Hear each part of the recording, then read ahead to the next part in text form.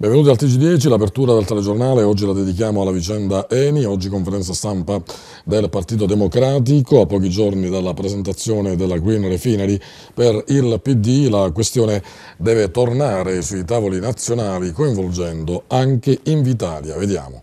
La presentazione della nuova Green Refinery di Gela, avvenuta giorni addietro alla presenza dei massimi vertici del colosso industriale, è monitorata dal Partito Democratico.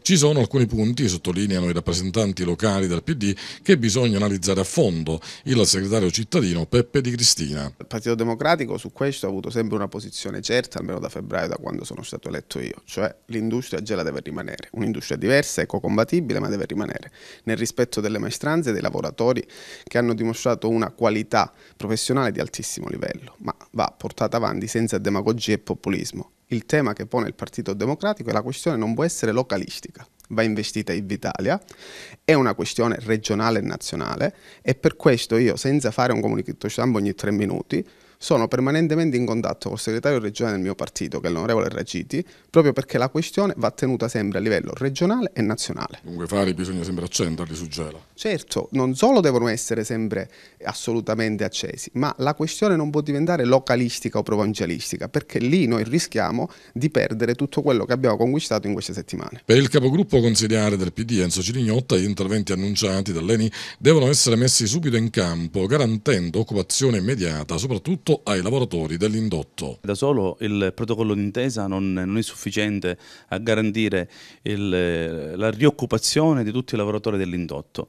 Infatti ho sentito parlare del, di investimenti aggiuntivi, ma quando si parla di investimenti aggiuntivi eh, di fatto si sta cercando eh, di riaprire il protocollo d'intesa eh, perché solo, eh, solo, attraverso investimenti, eh, nuovi investimenti, nuove, nuove attività imprenditoriali, eh, nelle quali l'ENI secondo me deve essere il fulcro di, questi nuovi investimenti, l'ENI deve cercare di portare eh, nuove attività collaterali al, alla Green Refinery e comunque a tutte le nuove attività eh, ambientali che si che andranno a sviluppare da qui a qualche anno. Solo così dobbiamo, prendiamo consapevolezza si, che si può garantire l'occupazione e comunque risollevare le sorti dell'indotto eh, per dare una nuova speranza di sviluppo alla nostra città. Ecco, una nuova speranza di sviluppo, ma tempi certi per coloro i quali lavoravano nell'indotto e ora purtroppo ne stanno piangendo le conseguenze? Eh, l'unica preoccupazione della politica deve essere questa, di cercare di eh, accompagnare questi lavoratori al, eh, all'apertura dei nuovi cantieri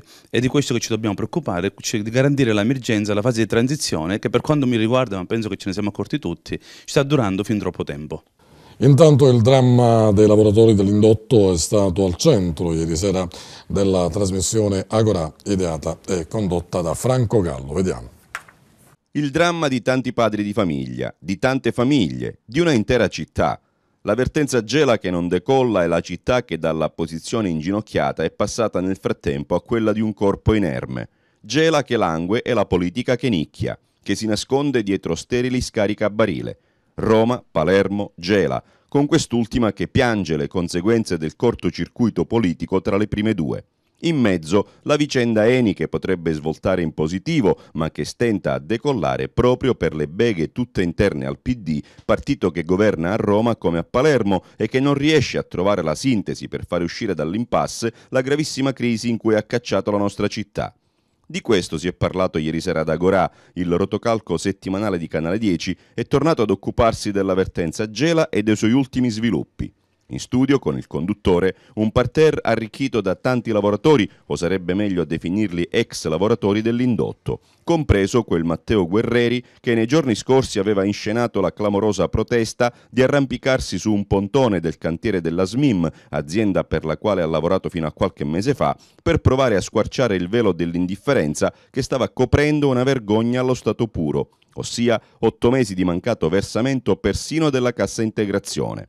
Drammi, disperazione, rabbia, i tanti sentimenti espressi dai lavoratori presenti in studio hanno fatto da cornice ad una trasmissione durante la quale il vice sindaco di Gela, Simone Siciliano, ha provato a spiegare gli sforzi, a volte inutili, che l'amministrazione comunale sta facendo per rimettere in piedi una vertenza che l'inettitudine di Roma e di Palermo ha gettato nel dimenticatoio le pastoie burocratiche, ma soprattutto le faide interne al PD, con Renzi che mal sopporta Crocetta e viceversa, hanno finito per fiaccare i tentativi di far uscire Gela dalla grave crisi che la sta attanagliando.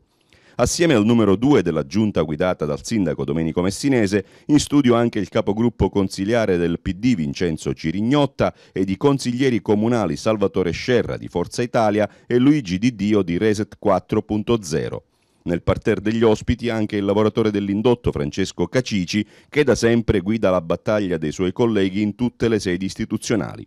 E poi, dietro le telecamere, loro, i veri protagonisti della puntata di Agorà andata in onda ieri sera, i lavoratori, diventati nel frattempo disoccupati dell'indotto dell'Eni perché a loro era dedicata ieri sera la trasmissione di punta di Canale 10. Gente disperata ma anche dignitosa, civile e rispettosa delle regole, ma che una politica becera vorrebbe relegare ai margini della società civile, spingendo qualcuno come Matteo Guerreri a decidere di mettere a repentaglio la propria stessa vita e la serenità dei propri familiari.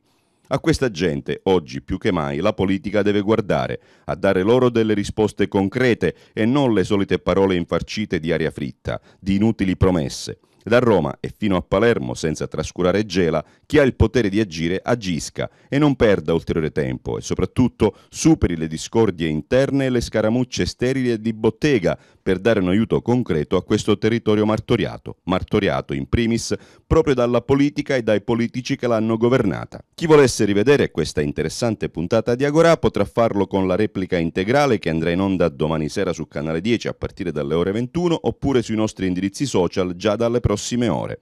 Agorà tornerà in diretta venerdì prossimo con nuovi ospiti e nuovi argomenti che riguardano Gela e i gelesi.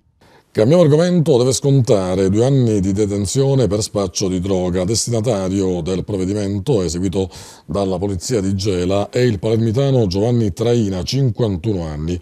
Domiciliari invece per il 25enne Nunzio Massimo Tilaro. L'accusa è di smaltimento illecito di rifiuti speciali. Deve scontare una pena di sei mesi.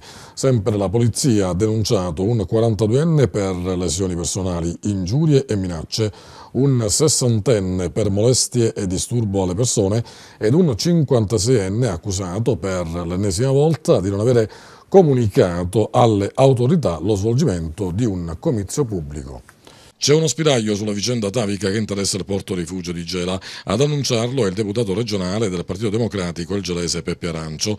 Più volte nelle ultime settimane gli operatori portuali e pescatori hanno chiesto interventi immediati al presidente della regione, Rosario Crocetta, chiedendo un porto rifugio agibile e fruibile con tutti i servizi connessi che un porto richiede, così come accade in altri siti siciliani bagnati dal mare, perché un porto agibile richiama numerosi fruitori e offre la possibilità agli operatori di lavorarci ogni giorno e ogni giorno i pescatori possono utilizzarlo, così come i turisti, ed invece il porto allo stato attuale è all'abbandono. Ieri ho avuto un'interlocuzione eh, con eh, Crocetta anche eh, perché eh, c'era questa necessità eh, che venisse, eh, venissero, diciamo, che iniziassero i lavori del dragaggio del porto di Gela. praticamente eh, ho, ho, avuto questa interlocuzione e ho avuto notizia che praticamente eh, Crocetto ha avuto eh, rapporti con Eni che sono disponibili a mettere eh, i, i, quasi 5 milioni di euro che servono per i lavori così come stabiliti al tavolo della protezione civile con l'ingegnere Foti quindi occorre, eh, questo è un invito, poi chiamerò il sindaco, glielo comunicherò, che l'amministrazione formalmente dichiari che vuole fare e eh, mettere a disposizione i, i, soldi per il dragaggio e per le opere di completamento del, del porto. Quindi questa è una notizia che diamo alla città perché iniziano i lavori e finalmente i pescatori, i diportisti, tutti coloro che lavorano fornendo servizi eh, all'interno del porto potranno eh, riprendere e mettere in moto questa microeconomia. Il Comune di Gela ha siglato una convenzione con l'Università degli Studi di Torino per consentire dei tirocini formativi e di orientamento nella pubblica amministrazione gelese. Finora l'ente amministrato dal sindaco Domenico Messinese ha sottoscritto le stesse intese con le università di Palermo, Napoli, Messina, Catania e Enna. Entro il prossimo 31 gennaio al Comune di Gela è possibile presentare la domanda per richiedere l'assegno a sostegno dei nuclei familiari con almeno tre figli minori. Fabiola Polara oggi ne ha parlato con l'assessore comunale ai servizi sociali Licia Abela. Comune di Gela dà un'opportunità alle famiglie numerose, eh, che tipo di bando avete messo a disposizione, se ci sono termini e quali le condizioni? Le condizioni sono quelle appunto delle, delle, famiglie che abbiano un nucleo familiare composto da almeno tre, eh, tre figli e hanno la possibilità di poter presentare un'istanza scaricabile direttamente al sito internet del Comune di Gela o altresì disponibile presso gli uffici del segretariato sociale dove chi appunto, ripeto, avesse un nucleo familiare composto da almeno tre figli ha la possibilità di fare un'istanza che viene poi girata dal Comune di Gela agli uffici preposti dove eh, appunto c'è la possibilità di avere un contributo, contributo rivolto proprio alle famiglie numerose che terrà conto non solo delle condizioni appunto del nucleo familiare inteso come numero di, appunto, di, di componenti, ma altresì delle condizioni economiche ovviamente che eh, appunto in esso sussistono. Per ricevere dunque questo contributo ci si muove all'interno di una forbice tenendo conto due varianti, il numero eh, dei componenti del nucleo familiare e il reddito. Certo, ovviamente questi sono i criteri diciamo, di massima che vengono utilizzati proprio al fine di eh, favorire maggiormente le famiglie che hanno un nucleo familiare più numeroso e ovviamente sono in condizioni economiche più disagiate. E gli adempimenti entro quando e dove? Entro il 31 gennaio 2017 basta presentare distanza eh, presso gli uffici del, di protocollo eh, o appunto scaricando dal, dal, sito internet o attraverso eh, appunto il modulo presente al segretariato sociale del comune di Gela, l'istanza può essere presentata presso gli uffici comunali. È in edicola il Corriere di Gela, settimanale indipendente di attualità, politica, cultura e sport a diffusione comprensoriale fondato e diretto da Rocco Cerro. Il giornale dedica l'apertura della prima pagina all'incontro che Leni ha avuto in settimana con la stampa. Il servizio tra dubbi e certezze è di Nello Lombardo. In prima pagina anche il richiamo di un ampio servizio sulla situazione del porto rifugio. Il giornale dà voce al titolare di un'azienda navale e ad un rappresentante del comitato Porto del Golfo di Gela.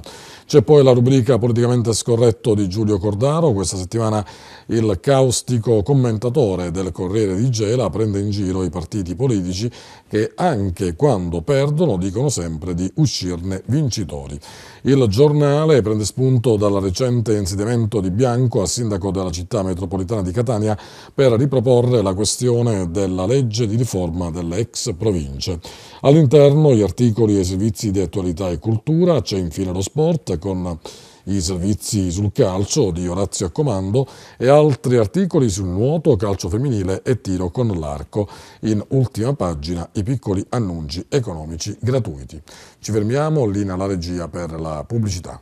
Ed eccoci, seconda parte del telegiornale, domani nella parrocchia Sacro Cuore di Gesù di Gela, nell'ambito del percorso sulle 14 opere di misericordia organizzato dal Vicariato di Gela e dal Movimento della Misericordia, si svolgerà la nona catechesi dettata da Oreste Pesare, direttore esecutivo dell'International Catholic Charismatic, unico organo vaticano in cui eh, sono legati tutti i movimenti, associazioni e comunità carismatiche del mondo. L'importante appuntamento inizierà alle 18.30 con la celebrazione eucaristica, seguirà la catechesi e la preghiera di intercessione.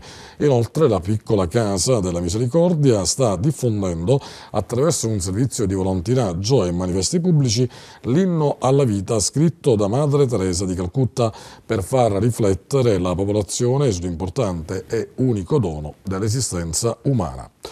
E adesso parliamo di teatro, è tutto pronto al Comunale Eschilo per la rappresentazione della famosa tragedia di Eschilo, Sette contro Tebe. Vediamo. La famosa tragedia di Eschilo, 7 contro Tebe, rivisitata in chiave moderna, sarà in scena domani alle 19 al Teatro Eschilo di Gela. Saranno i corsisti della scuola di formazione dello stesso teatro a rappresentarla, diretti dal regista Francesco Longo, che ha curato con genialità, particolarità e impegno questo saggio finale. È un'opera abbastanza impegnativa, scritta più di 2500 anni fa da Eschilo, il nostro concittadino Eschilo.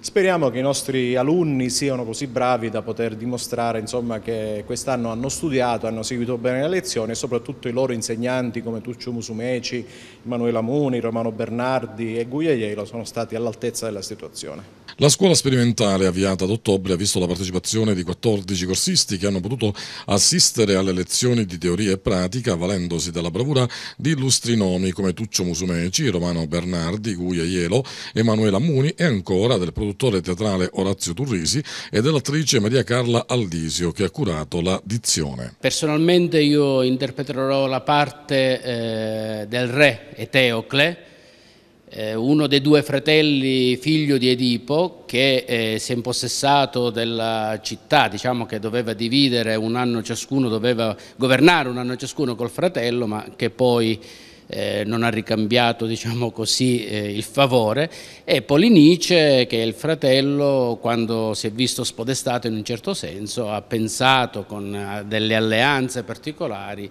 di attaccare con eh, altri eserciti le sette porte di Tebe. La storia un po' eh, si svolge in questa, in questa, direzione, la tragedia sta proprio eh, in questo conflitto fra fratelli eh, che si trovano nemici.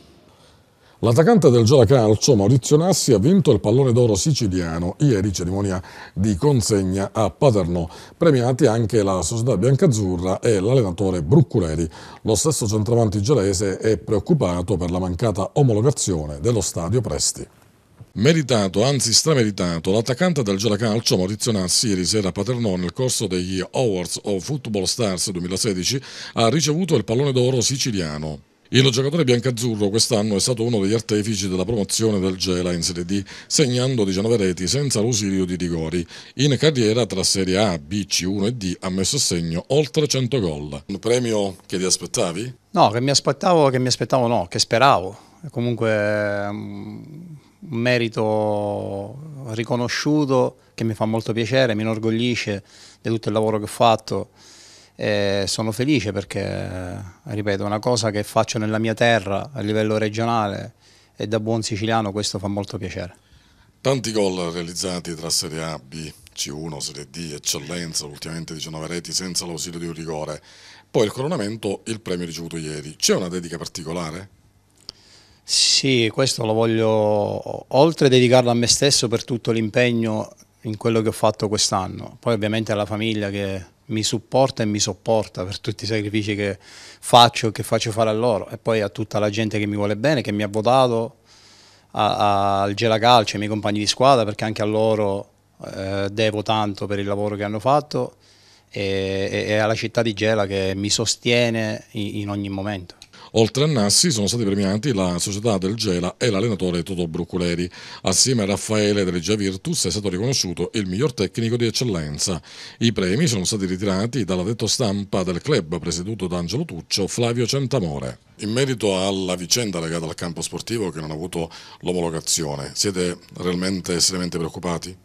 Beh, io personalmente sì, perché in questo anno abbiamo fatto tanti sacrifici noi come squadra e la società come, come, come società Gela Calcio. Quindi sapere l'11 di giugno che praticamente non possiamo giocare nel nostro terreno di gioco al Vincenzo Presti è, è una cosa molto grave. Io faccio appello al comune, è un sollecito il mio a cercare di intervenire immediatamente perché sarebbe una cosa negativa per noi ma soprattutto per la città che finalmente passo dopo passo e sacrificio dopo sacrificio va ad affrontare un campionato eh, semi-professionista abbastanza importante. Teatro sotto le stelle all'antitodo di Gela, tutti gli spettacoli si terranno all'aperto, si comincia venerdì 24 giugno alle 21.30 con Attenti a quei due della compagnia Antidoto. La rassegna si concluderà a settembre. L'ingresso è di 5 euro a coppia, nel calendario è prevista anche l'esibizione di Giobbe Covatta. Abbiamo concluso anche per oggi, grazie per averci seguito, appuntamento alle prossime edizioni.